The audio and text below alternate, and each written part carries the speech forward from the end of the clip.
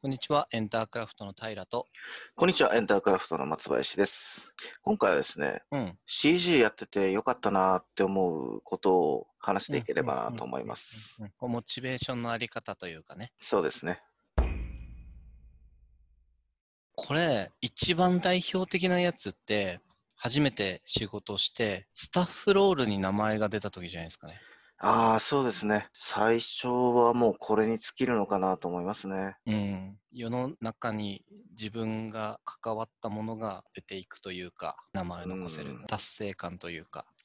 まあ僕らもまあまあ大きいタイトルにもうんうん。名前も載せることができたし、そうだね。うんうんうんうんうん。そこはまず次も頑張ろうって思える一つかなとは思いますね。うんそうですね。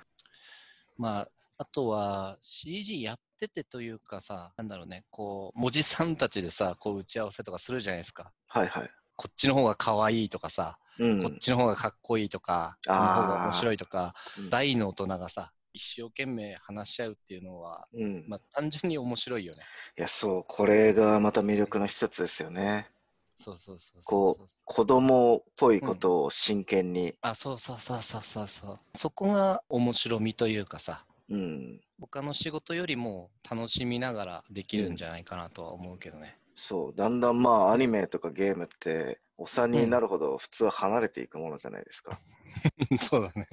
もう逆にもっと深く付き合っていくことになる。そうそうそうそう。だいぶ深くですもんね。うんうんう。うんん。まあ、あとは、あんまり職業柄ないはないんだけど、芸能人に会えたりしますね。例えば、ライブ映像とかさ、EV とか、そういう仕事で関わった時に、その本人と会えるみたいなことはありますね。ああ、はいはいはいは有名な声優さんとか会えたりとか、い。うーん。あとはライブとかにこう関係者席で入れてもらえるとかもありますね。ああ、なるほど。うん、そう。ライブ、関係者席で入れてもらった時に、はいかなり充実感ありますね。やっぱりあの、直接喜んでる人たちを目の当たりにするというか、ああ、そうですね。うん、作った仕事の作品に出すんだけど、うん。あんまり感想って伝わってこないというかさ、実は。うん。こっちから探しに行けば出てはくるんだけどさ、うん。ちょっと伝わりづらいよね。見てくれた人がどう思ってるかって、実はあんまり分かってないというか。うん。うん。なんだけど、ライブとかで行った時に、作った映像がスクリーンとかにガンって出た時に、喜んでる人たちを見ると、ああ、やってよかったなとはいや、。そうですね。はい完成がやっぱり、すごいんですよね、やっぱり。喜んでくれてるなっていう感じが。そう、それがやっぱり作ってる側としては一番嬉しいことですからね。そう、本当見てもらうために作ってるんで、それをこう直接感じれるのはやっぱライブ系のやつはいいなと思いますね。うん。あとは、その子供の頃に好きだったアニメとかゲームうん。に自分が関われる。いや、ほんとそうだね。なんだろう、こう、いわゆるリメイクとかなのかな。えっと、同じ年代の人がさ、ちょうど偉くなってきて、子供の時好きだったやつをまたやろうみたいになった時に、うん。そういうのに関われたりするよね。そういう時はやっぱテンション上がりますね。基本的にはやっぱそういう仕事が多いし、僕とかもだいぶもう好きだった作品関わらせてもらってますね。ああ、はいはいはいはい。うん。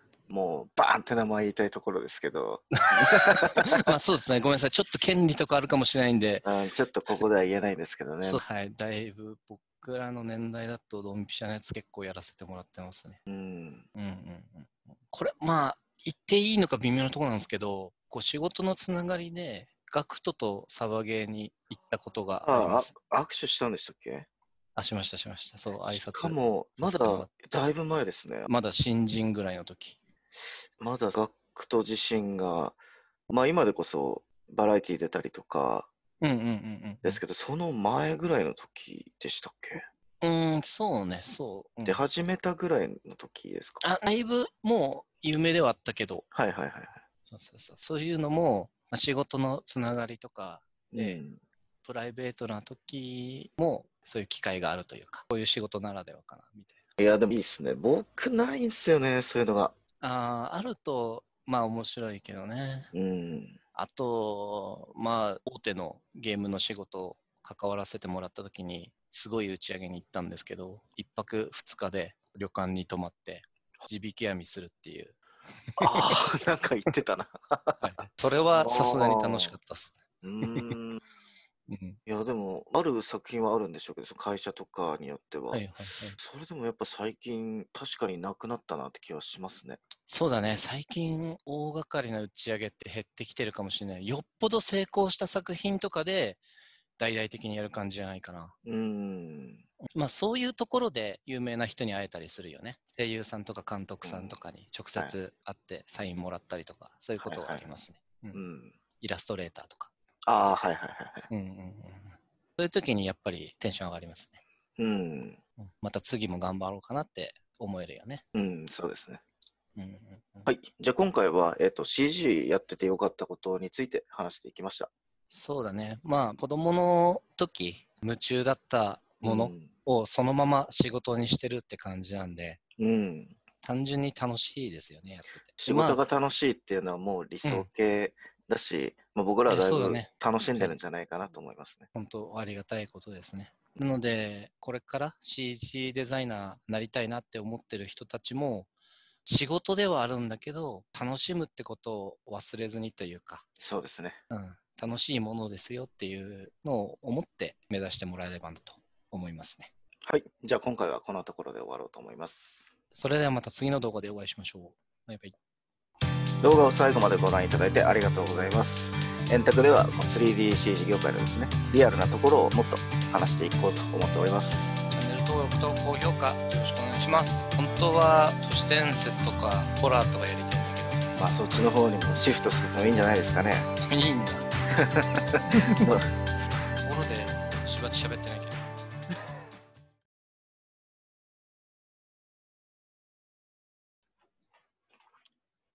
やー、ガクトめっちゃかっこよかったっすよ。なんか覚えてるのが、えっと、テレビだとまあクールなキャラじゃないですか。うんうんうんうん。けど、プライベートだと結構笑いながら話してたみたいな。あ、そうだね、そうそうそうそうそう。そう、わ笑いもしなかったんですよね、確かテレビで。そう、当時ね、当時ね、うんそう。あ、そうあ。今だともうだいぶ出てるかもしれないけど、うん。あの、かなりフランクっすね。うん。うん。あそういう一面が、プライベートの一面ですもんね。そうそうそう。なかなかないっすよ、それは。うん。いや、めちゃくちゃかっこよかった。まあ、顔もそうなんですけど、やっぱ背もでかいし、あ肩幅もあって、なんか、こう、体つきもかっこいいというか、あ、あそうそうそう。あサバゲー行くって決まってさ、会社の人にはさ、もうガクトに前段ぶち込んできますよみたいに言ってたんだけど、もうあ。はいはい。やっぱ直であったら、あーってもう、あーかっこいいみたいな。あ無理、嘘、打てないみたいになっちゃう。めちゃくちゃかっこよかったです。あ、ああ。しかもめちゃくちゃ強そうですしね。いや、そうなんですよ。あの、もう、あの、ガクトの周りに、その、守ってる人がいいんですよ。あの、マリカーの亀の甲羅みたいに、ガクトの周りをくるくる回って、もう、ガクト守って、こう、攻め込んでくるんですよ。なるほど。そうそうそうそう。あそう。握手する力がね、めっちゃ強いのよ。あ。あらしいっすね。そう。あの、もう、痛いって、もう言うくらい、グーって握ってくる。そう、びっくりして。うん。まあ、男の挨拶なんでしょうね。うん。そうそうそうそあと、その時に、うんう。はいはいあれですよね、ケミストリーの川端も行ったって。そうだそうだそうだ。うん。ケミストリーの顔はと思う。そう。めちゃくちゃいい人。うん。めちゃくちゃいい人だった。なんか最近、腰が低くて。うんはいはいはい。YouTube やってるみたいで、あ、そうなんだ。そう。へーえ、ケミストリーで？いや、一人で？一人で。へえ。カジサックと出てましたよ、なんか。あ、そうなんだ。うんあのーサングラスのあの スタイルで？そうそうそう。え、マジで？サングラスのあのスタイルだったから、ちょっと忘れました。でもまあまあ、当時の感じで。あかっこいい人だもんね。うん。いや、芸能人な、僕、そう、有名人ってうん。会う機会がなかったっすね。誰かあ、そっかそっか。熊田曜子とかもあったけあ、ですよね。そう、それも違う仕事だったから、僕はなかったっすね。ど。そっかそっかそっか。まあ、たまたまそうだね。俺がそういう機会があったっていう感じかな。うん。なんかそういう機会多かったっすよね。多かった多かった。あと、うん、声優さんのあのアフレコ現場とかも行かせてもらったりとか。あ、そうそうそうそう。それ、いや、僕も前の仕事で、ワンチャンそれに行こうと思えば行けたんですけどね。うんうんもう本当に有名どころばっかりみたいな、うん。うん。現役の。うんうんうん。いや、あれやっぱすごいっすね。なんか、まあ台本あるんだけどさ、なんだろう、もうアドリブというかさ、なんだろうね。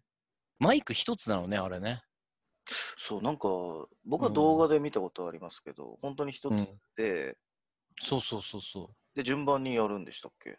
順番に、そう、順番で、そう。だから、本当に一人一人撮るとかじゃなくて、もう流れで一気に撮っちゃうみたいな。うん。こう入れ替わり、立ち替わりというか。うん。そうそうそう。ここまあ、そっちの方が勢いとか、やっぱ流れが自然になるからいいのかもしれないけどね。うん。うん。そう、あと、それで、あ、確かにって思った話が、はいはい。あの、アクセサリーとか絶対つけちゃダメっていう。え、音鳴るから？そうそうそう。なるほどね。なるほど、うんなるほど。そう、あとは、えっと、そ誰かが撮ってる時って後ろに座ってるじゃないですか。うん、座ってる。その時に台本めくっちゃダメとか。あ、なるほど、なるほど。。あのああ、そうか、そうか。確かにっ。て音が入っちゃう。ああ、そう、そうだね。いや、そうだね確かにそうだなっていう。うん。そうか。そういう現場行くと、やっぱりさ、同じ作品作ってるんだなって感じは出るよね、やっぱりね。出るし、なんか、自分も有名人になった気分になりますよね。ああ、そうだね。関わってるんだってなる、そうそうそう。よく言いますよね。この人とうんうん。直接じゃないのに仕事したみたいなのは言います。あ、そうそうそうそうそうそうそう。ああの、あんまりあれなんだよね。こう、あの、SE とかさ、音入れてくれてる人たちとかと関わりないよね。いや、そう、ないんですよね。完全に後付けだから、タイミングが合えば、まあ、うん事前にその声をもらえたりはするんですけど、あ、そうだね。うん、ううんん。そうなんだよね。なかなか、直接関わることっていうのはないですね。うーん、ちょっと、なんかお任せでっていうパターンは多いよね。うん。いや、でも、どうだろうね。ちょっと、わかんないけどさ、あの、新海誠の作品とかはさ、もうはいはい音とかありきでやってるよね、でも。絶対ああれあ、そうかもしれないですね。うん。ね、音なかったらさ、あの、背景だけの絵とか出しづらいよね、だっていやー、ね。ほんとそうだわ。うん。でもまあ、その分、ちゃんとこう、曲と絵が合ってて、うんいい、いい感じの作品になってるなとは思うけど。いや、そう、これ、そう、アニメーター、みんなそうだと思うんですけど、うんうん。あの、作って完成した状態って若干不安なんですよね。これでいいのかなみたいあな。あ。で、それに声と音が入った時に、あと音楽、うんうん。うんうんうん。あの、わあ、よかったーってなるんですよね。ああ、そうだよね。そうだよね。あ合ってたっていう。これで合ってた。うんうんそう、あれさ、そうなんだよな。これ、これ本当は、おあの音ありきで本当は絶対やるべきなんだけどうね。ん。もう見え方も違って見えるしさ。いやー、本当にそうなんですよ。そう、でもこれなかなかタイミング合わないんですようね。ん。だからみんな言いますね。その音楽が入った時の安心感。ああ、なるほど、なるほど。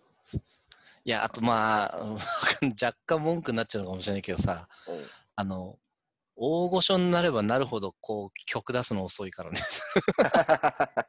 もうそう、映像先に作んなきゃいけなくて。いや、そうだわ。そう。あ後から来て、それに対してこうタイミング変えたり。あ、そうそうそうそうそうそう。あ、え、そういう曲になるの？みたいな。結構直す必要あるよみたいな。うん、そうなんですよね。そう、大御所だとなかなか誰も文句言えないからね。うん。そういう大変さはありますよね。まあ、アニメ業界なんてもうそれで成り立ってますからね。成り立ってるというか、成り立ってないんですけど、だからこそ。その音楽じゃないにしろ、まあ、コンテ出るの遅いとか あるらしい。あまあ、そうだね。あ、おそうだね。大御所の人だとうんありがちかもしれないね。